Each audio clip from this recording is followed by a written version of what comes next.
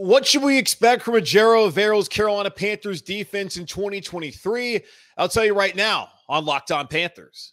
You are Locked On Panthers, your daily Carolina Panthers podcast. Part of the Locked On Podcast Network. Your team every day.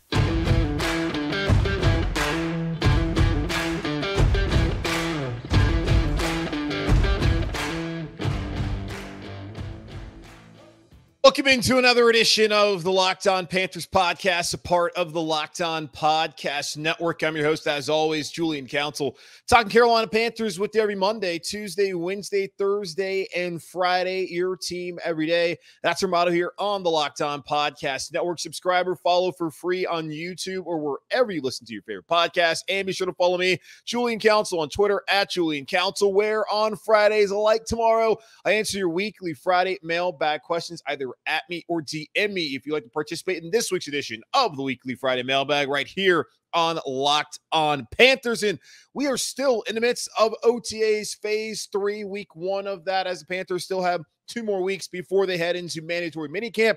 And then about a six, seven week hiatus leading up to training camp in the 2023 season. And it cannot come soon enough as we are really deep into the offseason and just looking for anything to discuss and look forward to. Yesterday, talked about some of the guys who I think are candidates to be breakout uh, players for the Panthers in 2023. Today, we'll talk about the expectations for Ejiro Evero's Panthers defense. Now, we're not going to talk like statistical expectations and whether it'll be a top 10 defense.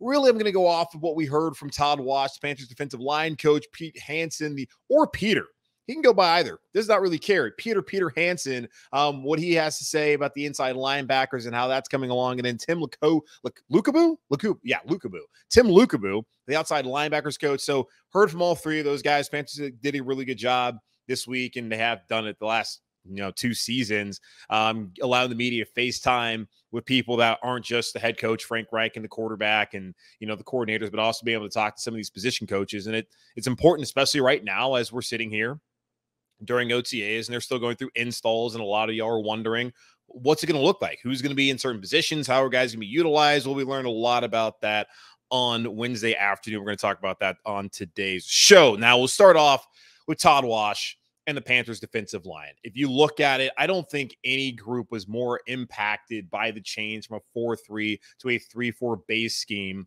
than the Panthers defensive line. You also look at the fact that they brought in Shy Tuttle, DeShawn Williams. There's still holdovers, of course, like Derrick Brown of the Panthers exercise fifth year option on him for the 24 season, and also having guys like Marquan McCall back, Bravvion Roy. This is a position group that I think we want to see more out of more so in terms of like not stopping the run because I think they've done an okay job at that. And Derrick Brown, especially, is a solid run stopper. But we would like to see them be better at getting after the passer. Now, the 3 4 defense, more of that is going to be asked upon the outside linebackers, the Brian Burns, and some of the other guys out there who we're still wondering who's going to step up as that other outside linebacker presence and other pass rusher. And is that player even on the roster? But defensive line wise, you're going from, you know, four man front to three man front. So, how does that going to look? Well, according to Todd Wash, Panthers defensive line coach Derrick Brown, he's going to line up all over the place. He's going to line up in some of the exact same spots he did before in the 4 3 scheme that they had here in his first three years as a Carolina Panther. And he'll also line up over the guard and over the center, which is he's what he's typically done. But the new wrinkle for him be lining up a little bit on the outside over a tackle at times. The, the biggest change for Derrick Brown really is the technique and also the new language that they're having to learn in this 3 4 scheme. That he thinks that they can get more two gap play out of Brown this year, that he has the ability to be even more versatile than he's been before. It's not like he was asked to do as much as he's going to be asked to do now with the change in the scheme where you have one less down lineman in this scheme. And again, as Ejiro Evero, the new DC in Carolina, said, there's going to be times where they're going to be 3 4. There's going to be times where they're 4 3. Like the base is a 3 4 defense. And depending on obviously who's on the roster and the opponent, they're going to change the looks. But primarily, what we're looking at now is that odd man front and Derrick Brown in the middle of it, and even sometimes lining up at a defensive end position in this new scheme. Now, one of the things that Todd Wash really wants to work with Derrick Brown on heading into the season, it's not being able to stop the run. We know Derrick Brown can do that, but it's rushing the passer. So far, through three seasons, Derrick Brown has six career sacks. And if you go back to his career at Auburn, it wasn't like he was one of those interior edge uh, interior rushers that really was wreaking havoc on quarterbacks in the SEC. He was great at wreaking havoc on centers and guards and being able to stop the run and being a menace that way of tackles for loss. But it wasn't coming by the way of a sack back in college, and certainly has not been the case so far in in the NFL in Carolina. I think it took until that that Saturday night game, yeah, his rookie season against Green Bay for him to get his first career sack. I know there's a lot of people who are Panthers fans that are frustrated by that because we watched Kawann Short be one of those players who could really rush the passer from the interior. That's not really been Derrick Brown's game, but maybe it's going to change with Todd Wash here in Carolina working with him and in this new 3 4 scheme where Derrick Brown's going to be asked to be more of a pass rusher. While, yes, the brunt of that's going to lay upon the feet of, of uh, Brian Burns and some of the other outside linebackers, maybe even Frankie Luvu on this roster. But maybe Derrick Brown can add half of that total, maybe four sacks this year, which would, of course, be an improvement. If he gets to six, of course, that is doubling what he's done so far. So, yeah, they're going to ask Derrick Brown to get after the passer more in this new scheme. And it's not just Derrick Brown who's going to be able to line up in multiple spots, but Shy Tuttle who's coming over from New Orleans, a division rival. He's from uh, North Carolina, having gone to North Davidson High School, played college football back in Tennessee. He's someone who started the last two seasons with the Saints, so has plenty of experience and has played in a similar scheme in New Orleans. And like Derrick Brown, Todd Wash believes that he can play that nose tackle position. He can also play at that defensive end spot in this 3 4 scheme. Henry Anderson, who was brought on as more of that edge rush stopper, not like not an edge rusher, but someone who can stop the who can set the edge on the defensive line and stop the run. That's what they brought him in to do late or late in the preseason, right before the season started. Henry Anderson is also someone who they think they can move inside and outside in this new scheme. So Shy Tuttle's here because he's flexible, can play the inside and the outside, and has experience playing in a similar scheme in New Orleans over the last couple of seasons. And it's not just those guys. You got Marquan McCall here, Bravvion Roy, John Penisini.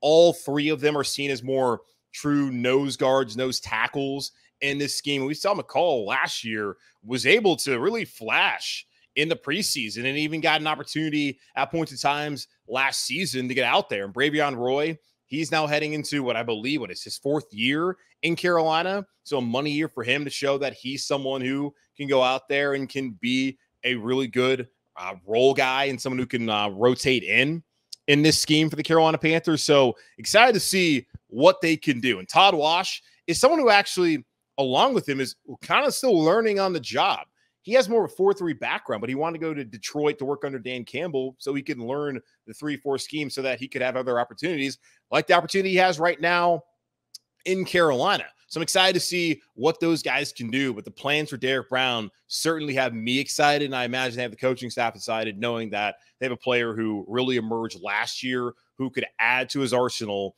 and really take another step heading into this 2023 season where who knows how good Derrick Brown really could be and what he could show. And maybe he's one of those people who emerges and announces himself to the NFL as a breakout candidate here in 2023.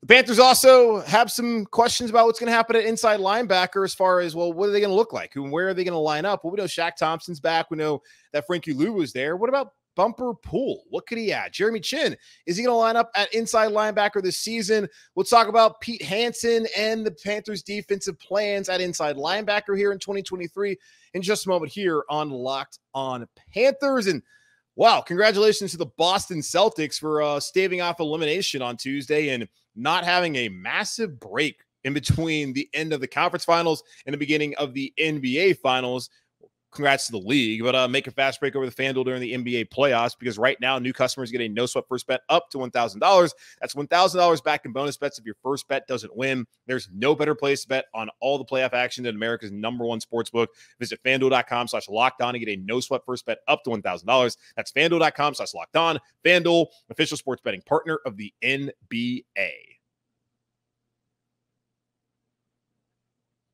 I think if you look at the Panthers depth chart, I don't know if there's a bigger drop off from starters to backups than there is at inside linebacker. Cornerback might be the other position that you would look at, maybe even outside linebacker.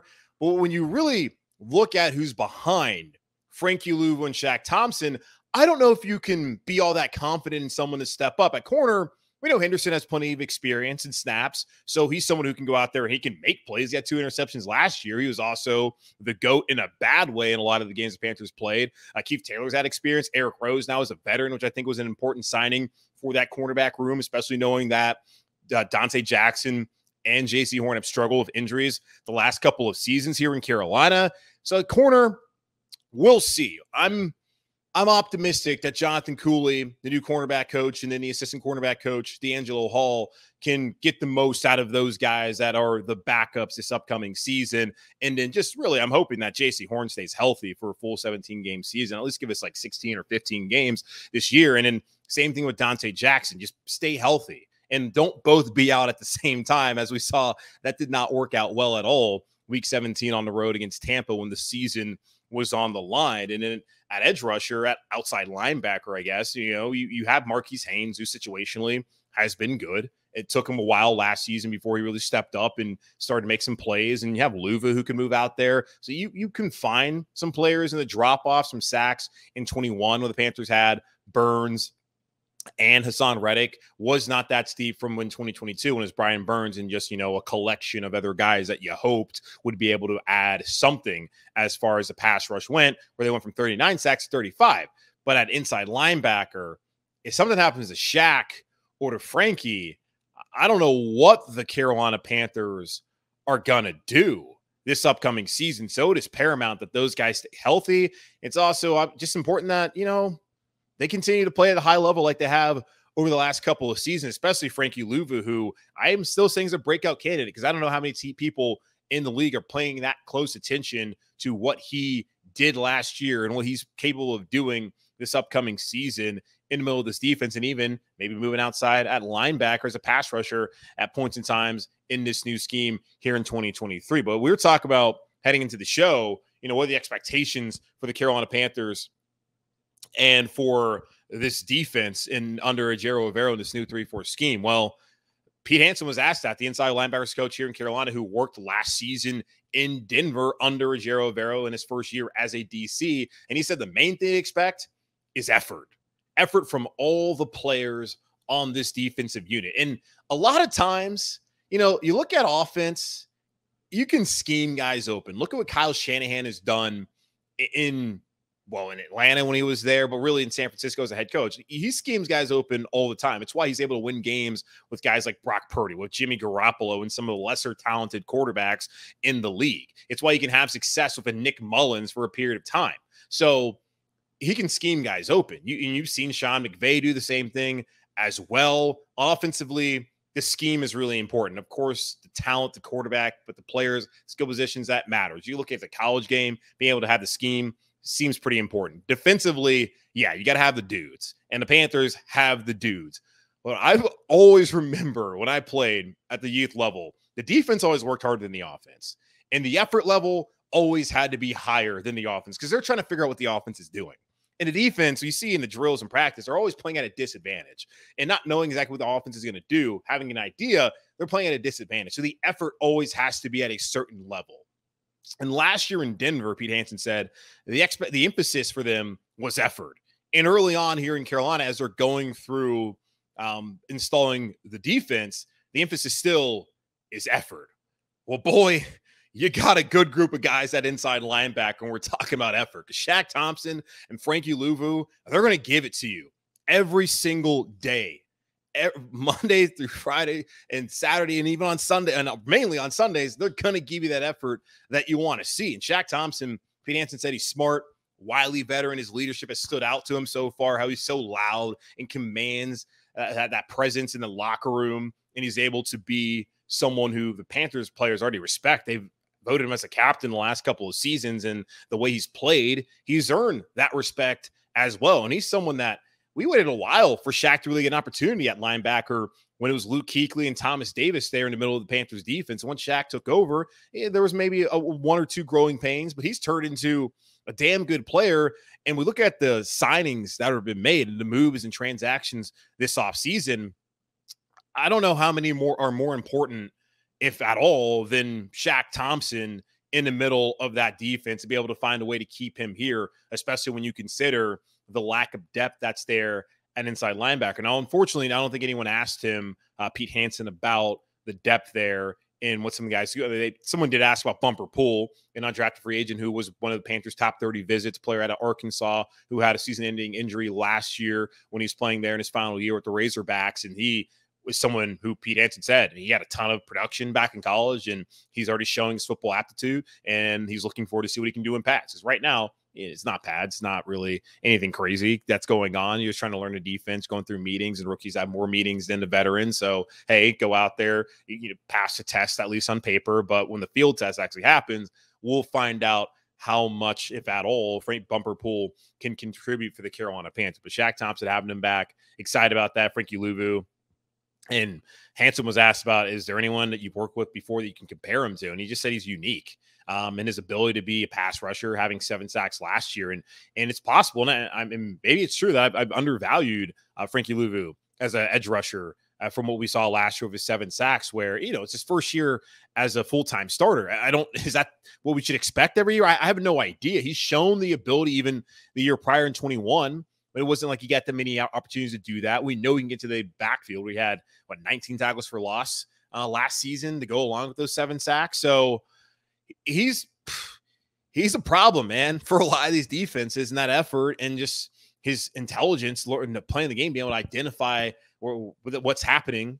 Uh, he's he's a great player, and I'm excited to see what he can do this year and his ability to play as a pass rusher and then play off the ball as well. That's what Pete Hansen said really makes him pretty unique in the NFL. Uh, and Jeremy Chinn, how's he going to fit into this? Now, Hansen said that it's pretty, you know, obvious right now, and everyone knows it's public knowledge that Jeremy Chinn has been playing a lot of nickel back for the Panthers, playing some big nickel, which he did play when he played a little bit of linebacker. Well, not a little, all, all a lot of linebacker his rookie year. He's been playing that big nickel and in that playmaking role. He could still play safety. He's going to just be all over the defense here. They want him close to the line of scrimmage. And that's one of the storylines that I think a lot of us are really looking forward to heading into this 2023 season, where I think Jeremy Chinn could really just burst onto the scene more than he already has. And that's one of the things like the Panthers, when I say that, the Panthers have just not been a nationally relevant team throughout a lot of these guys' career. Like people know who Brian Burns is, been a Pro Bowler two straight years. But does the NFL know about Frankie Luvu yet? Do they know about how good of a player Shaq Thompson has been? Do they know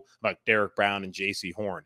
I think this is the year where the NFL world is going to really be introduced by these to these guys because the Carolina Panthers are going to be a team that is going to be competitive because the last couple seasons the talk was okay that yeah Brian Burns really good player uh, what is Matt Rhule doing? Christian McCaffrey always injured when he's out there healthy he's outstanding and then the quarterback play is just atrocious. Like that's been the storylines. But now I think we can start talking about hopefully not I mean we already do it but I hope like as a national NFL media that they can start talking about all the good things and the potential that the Carolina Panthers defensive players have and what they may be able to show this upcoming season. So Chinn going to play a lot of nickelback. Uh, TBD on how much linebacker he'll play, if at all, when you have Shaq and when you have Frankie Luvu. You maybe don't need him to be in a linebacker position. It's possible that maybe on third downs he plays linebacker, and you might have Jammie Robinson there at nickel, or you add in another corner. I, I don't really know what they want to do there. Um, so there's they have options, and that's the important thing about having options, and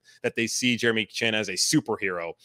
But, but they don't know what cape he's going to wear from day to day. Like he could play safety, he could play nickel, he could play linebacker. I don't I don't know if he's an edge rusher just yet, uh, but he has been asked to blitz back in the past when Phil Snow was a DC here in Carolina. All we know is that he's a fantastic player and that it's going to be fun to see how he's deployed this year in this new 3 4 scheme under Ejiro Evero in Carolina. So that's a look at the inside linebackers. We've also looked at the defensive line. Uh, how do the outside linebackers look? Brian Burns not out there right now, recovering from ankle surgery.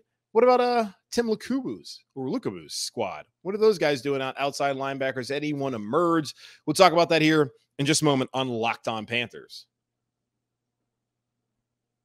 If there is a roster hole right now for the Carolina Panthers, it is at outside linebacker opposite of Brian Burns. Right now, Brian Burns recovering from an ankle injury. Hopefully, he'll be back and ready to go by training camp. And I would expect that to be the case. I did say on the show earlier this week that I wouldn't necessarily be all that surprised uh, just because it is an offseason injury if Brian Burns just shows up on the pup list. We, we saw Jaycee Horn last year coming off of that foot injury that was suffered in week three of his rookie season in 2021, where he came up, he had to start off on the pup list. Not anything to really get all that concerned about. Come the season, Jaycee Horn is ready to go. And I expect Brian Burns to be ready to go as well. It's just possible that the Carolina Panthers might want to give him a little bit more time instead of throw him out there. But we'll see. That's just one of the things where I say oh, I'm I don't have really any, any insider information. I'm just saying that it's a possibility, and it wouldn't be really something that I would be all that concerned about or surprised if that does happen. But the hope is that he'll be ready to go, and we won't have to be concerned about that at all, even though I don't think it's that big of a concern as is. But a big concern though is um, who's going to be the starting outside linebacker opposite of him? Because Haason Reddick was really good, and he was even better last year. He's now had three straight years of double digit sacks in the NFL, and he got paid by Philly, his hometown team, went to the Super Bowl. And during Super Bowl week, he talked about how the Carolina Panthers had other plans. Those other plans were uh, not to resign him to go after Deshaun Watson. And well, that ended in embarrassment and Deshaun Watson going to Cleveland and not here in Carolina. And Panthers, you know, kind of not getting that whole quarterback situation figured out a year ago. But we've moved on to Bryce Young and to our hopes and dreams being in the hands of the Alabama quarterback who David Tepper believes can win multiple Super Bowls here in Carolina. But really, the focus of this conversation right now is on outside linebacker and who can step up. Frank Reich has said that there is a starter there at outside linebacker. I'm skeptical of it. Actually heard who you talked to on Monday is I think a lot of people who follow the team, uh, whether they're a fan, a podcast host, or a reporter, are all looking at the Panthers a little bit sideways, being like, okay, so are y'all really not going to do anything about this? And it's not like there's a competition right now.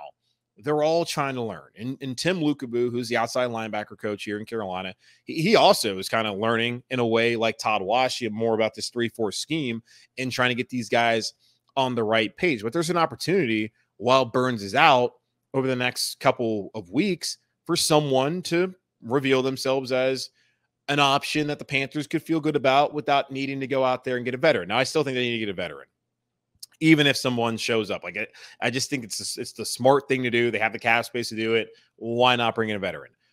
But right now, we're kind of focused on the transition of some guys like Yetur Gross-Matos, who naturally, and this has been stated by the coaching staff, is more of a four-three defensive end. But now he's having to stand up and be an outside linebacker. And when he played as a 4 3 defensive end the last couple of seasons, it's not like he really produced. So now to play out of position, so to say, naturally, eh, that's a pretty big learning curve. And so far, Tem Lukabu has said that he, he's called him a grinder and he's a worker. And that's not anything that you would not expect to hear about Yetur Gross-Matos. That's been said about him since he came to Carolina uh, out of Penn State by the way the second round. Um, but he's happy where he's at right now in his development. Marquis Haynes is also someone who I look at at, at Ole Miss. I think he played in more of a three four scheme, and he was more of a a guy who's a lot who's who's undersized as far as just his weight. And he still kind of is in the NFL. He's put on more pounds, and I think the three-four scheme could potentially, you know, fit him pretty well. Um, he comes in it with um those innate tools and instincts that fit the scheme well. And that kind of tracks of how I felt about Haynes transitioning now into this 3 4 uh, defense, especially with Tem Lukabu as his position coach. So, Marquis Haynes, we've seen what he can do. Can he build upon that? I don't know. It feels like he kind of is who he is, and possibly he's one of those uh, breakout candidates as well. I should have talked about yesterday as a, a veteran who has gone and has like what four or five, six sacks the last couple seasons. Is it possible um, that now he can really step up in this new role. We'll see. Uh, as far as like a, as a coverage aspects, you know, will these guys be out in coverage a lot?